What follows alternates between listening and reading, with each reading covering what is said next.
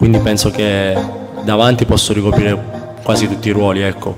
è normale che prediligo più giocare nella parte sinistra l'attacco perché mi trovo molto meglio sia per andare al cross o magari per accentrarmi, cercare il dialogo con il compagno o andare al tiro.